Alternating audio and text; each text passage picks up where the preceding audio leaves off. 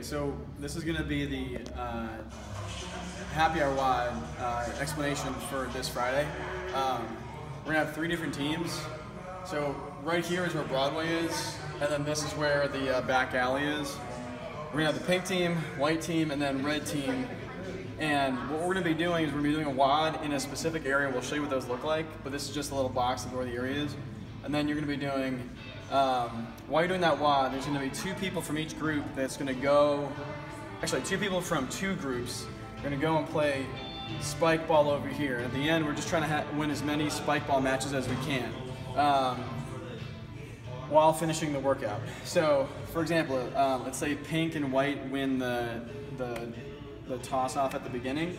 Pink and white are going to play um, spike ball, and then whoever loses will go back to their group, and the next group will come in uh, to try to play spike ball. However, if there's two people from pink, and let's say they win, those two winners have to go back, and then two other people from that team have to come back in, and they are going to play red.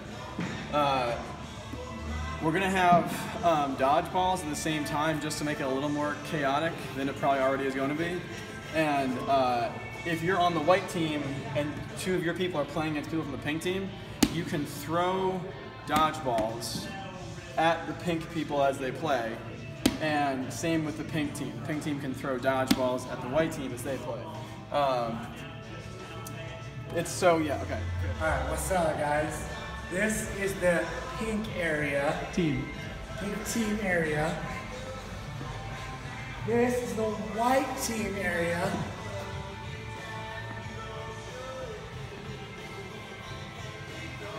The red team area.